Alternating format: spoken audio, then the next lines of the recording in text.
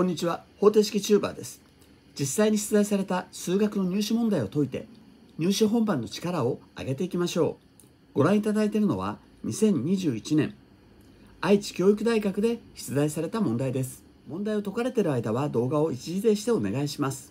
まもなく解説いたします。括弧1番の方針は接点を2つのグラフが共有しているところ。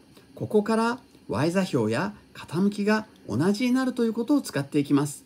接点の x 座標を t とすればね y=x のこの x が t の時の座標は tt ですよね。Y=a の x 乗の座標は x が t で y は a の t 乗になります。これって同じなんですよ。次に接点のね傾きもさ同じなんだよね。だから y=x のね傾きって y'=1 でしょ？次に y イコール a の x 乗を微分するとさ y' イコール a の x 乗ログの a でしょ？今 x が t の時の傾きを知りたいわけだからこの x が t の時の傾きはこの x を t にしてあげればいいので a の t 乗ログの a だよね。この黄色いマーカーの傾きって実は同じだからもう一つ式が出来上がります。そこでこの2つの式を丸1と丸2と置いてね連立を解いていってあげよう。まずこの丸1ね両辺は共に正だからログをつけてあげよう。するとこうなるよね。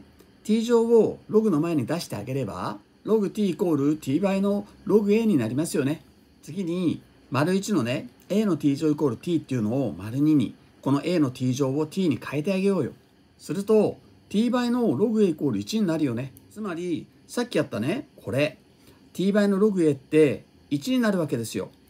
そこでログ t が1になることから E イコール t であることが分かります。今、a の値を知りたかったわけ。だからこれを丸1に代入してあげようよ。すると、E イコール a の e 乗になるじゃないですか。よって両辺を e 分の1乗すれば、こんな式になることから、a は e の e 分の1乗になるわけですよね。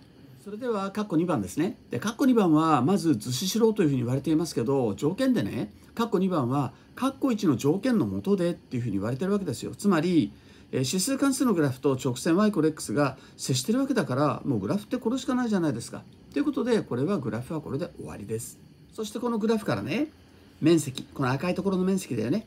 それを s とすれば s イコールインテグラル0から e までの括弧 e の e 分の x 乗マイナス x の dx となります。計算をしていきましょう。積分をするとこのようになりますから e を代入して0を代入してあげましょう。すると答えは2分の e の2乗マイナス e となります。またよろしくお願いします。